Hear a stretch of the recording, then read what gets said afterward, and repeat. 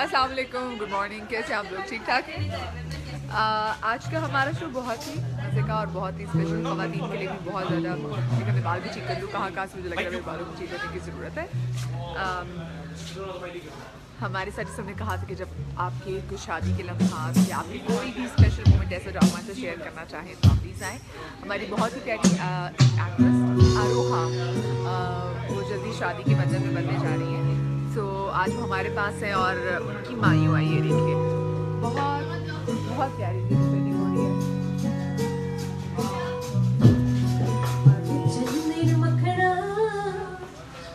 मेरा मखना